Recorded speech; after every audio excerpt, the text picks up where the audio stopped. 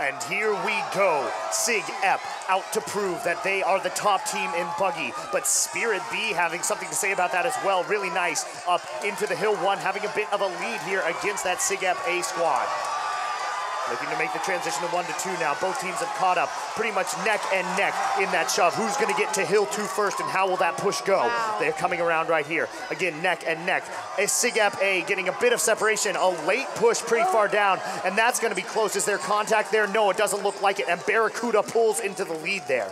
Really deep push. Steve Crawford followed it all the way down the hill, trying to get that last little bump right before the free roll. And it seemed like it helped. You know, we've seen that get away from teams before, but he seemed to really capitalize on it and helped Barracuda get out in front. Barracuda cruising right Just now. opening it up. Through the free roll. Also to be noted, uh, CIA uh, had duct tape over their mouth as they pushed there. Uh, our timer is not quite working, but a really fast stop sign time right there. Yeah, just flying down the course.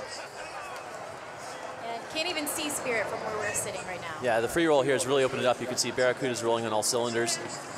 Nice, clean That chute. is a That's tight gonna do it. chute line Oh, right there. A little bit of wobble now as they come out of that. Let's see how that affects things on the back hill. Still pretty good momentum coming up here into three. If she can keep that straight line, which she just did a really good job of coming out of hill three, then it can be okay. And it looks like uh, he's picked up the buggy very well.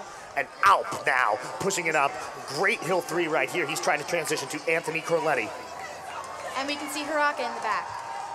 Anthony Baraka, Corletti. but still you can see how much space there are between Really these two lot. squads. Looking to get the timing system back up and try and figure out what exactly the time that SIGEP A is rolling here, but it's looking to be pretty good as they're transitioning into the Hill 5. James Solomon going to be the one who closes it out for them.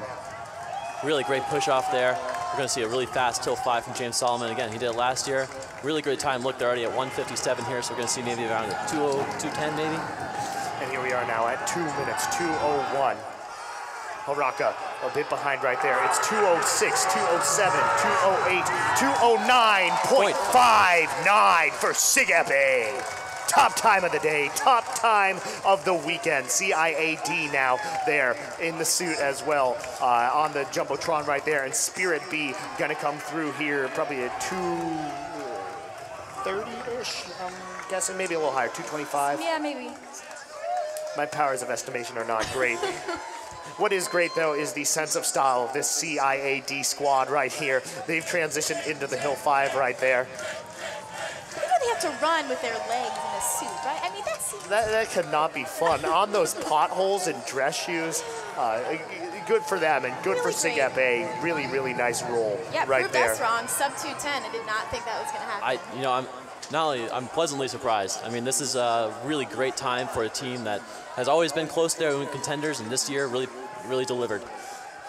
Yep, and the pressure.